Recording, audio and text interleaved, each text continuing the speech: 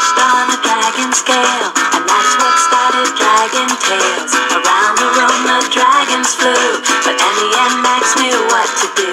They climbed on the backs of the dragon friends. Now the adventures never end. Dragon Tales, Dragon Tales, it's almost time for Dragon Tales.